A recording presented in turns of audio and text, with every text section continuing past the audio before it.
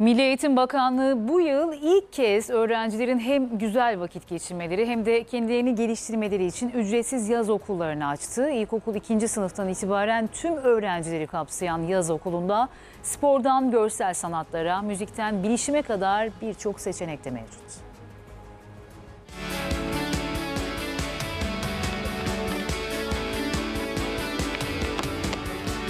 Futboldan satranca, Piyonlar tek gidebiliyor. Ee, yedikleri zaman çapraz gidebiliyorlar.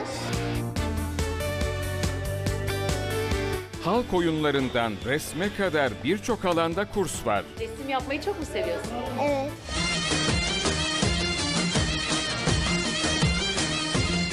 Milli Eğitim Bakanlığı ilkokul 2. sınıftan itibaren tüm kademelerdeki öğrenciler için ücretsiz yaz okulları açtı. Bakanlık bunu verdiği için çok teşekkür ederim. Hem bizim gelişimimiz için çok yardımcı ve faydalı bir spor. 1 Temmuz'da başlayan kurslarda spor, görsel sanatlar, müzik ve bilişim olmak üzere 4 alanda eğitimler veriliyor. Öğrencilerin hem spor yapma fırsatı bulduğu hem de yeteneklerini keşfettiği futbol dersine biz de katıldık. Şimdi bir penaltı atışı gerçekleştireceğim.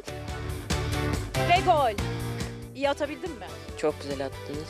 Okulumuzdaki eğitimler son sürat devam ediyor zaten. Çocuklarımızın hem hevesli olduğu branşlarda kendilerini geliştirmeye yönelik hem de kaliteli bir zaman geçecekleri branşlarda yapıyoruz çalışmalarımızı. Yaz okulunda öğrencilerin en çok tercih ettikleri derslerden biri de halk oyunları.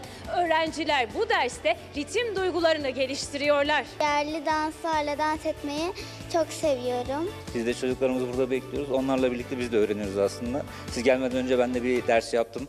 Ee, eğlenceli oluyor bizim için de. Yaz okulu kapsamında açılan kurslar haftada 5 gün olarak planlandı.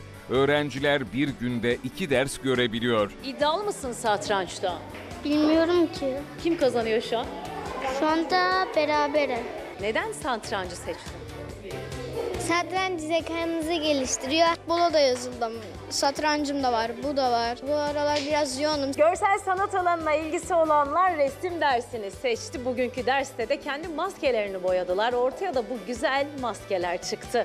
Ben böyle çizgili, renkli bir maske yaptım. Yaz döneminde ortaokul 8.